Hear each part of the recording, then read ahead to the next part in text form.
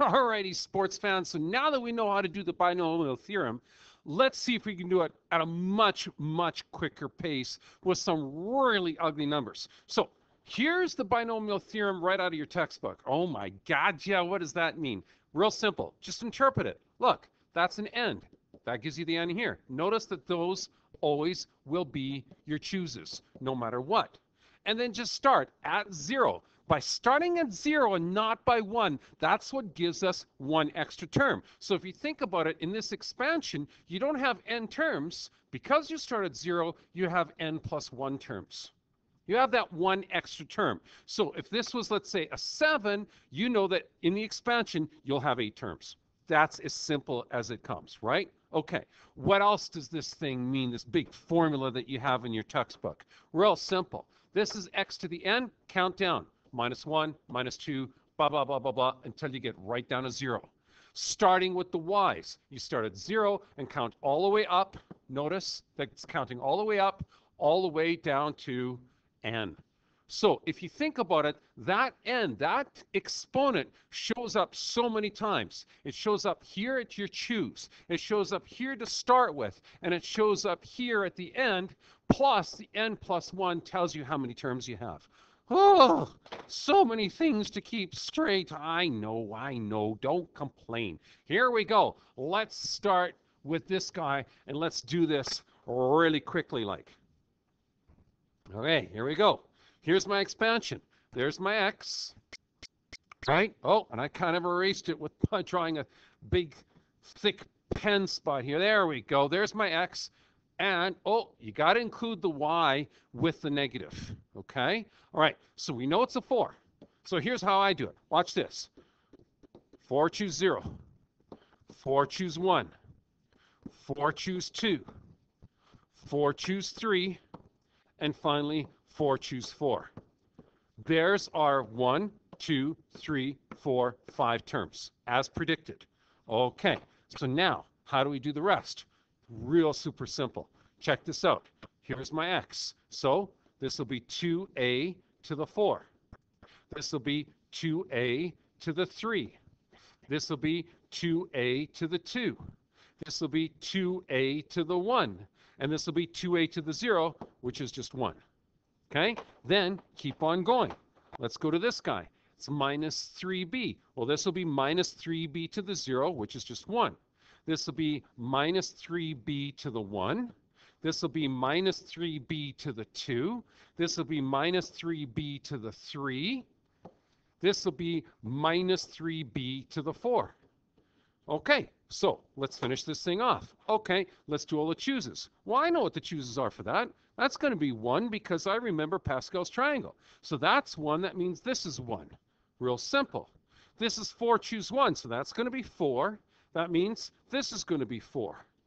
Leaves us with 4 choose 2, which I think I still am the calculator from last time.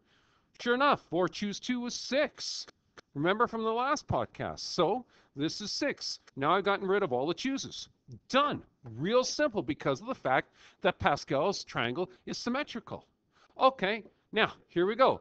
2a to the 4. That means 2 to the power of 4. So 2 times 2 is 4 times 2 is 8 times 2 is 16. This will be times 16a to the 4 times 1, right, from the y. Okay, this will be 2a to the power of 3. Let's just deal with the first, first part here. 2 to the power of 3 is 8, so this will be plus 8a cubed. And then look at this. Oh, minus 3b to the 1. So times minus 3b. Well, that's simple enough. Add this to, okay, 2a squared is going to be 4a squared. Okay, minus 3 squared is 9. b squared, oh, that's cool. Okay, this is 2a to the 1s. Okay, so plus 2a minus 3 cubed. Well, I know what that is. That's minus 27b cubed. Oh my goodness. Okay, and finally, this is times 1 times minus 3 to the power of 4. Well, we know we're at 27. Just go 27 times 1 more 3. And if you think about that, that's going to be 81. So this is 81b to the 4. Now, all we got to do now is just clean it up.